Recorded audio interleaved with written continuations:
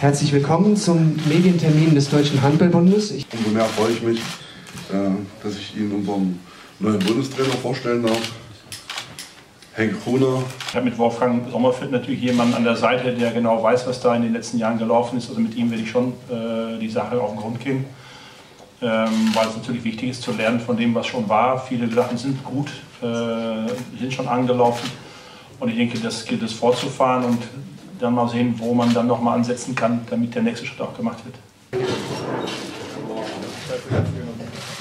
Man muss schon mit der fast äh, maximalen Punktausbeute aus einer Vorrunde rauskommen, um in der Hauptrunde richtig gute Chancen auf ein mögliches Halbfinale zu haben. Von daher liegt unser Fokus, äh, wie angesprochen, auf der Vorrunde.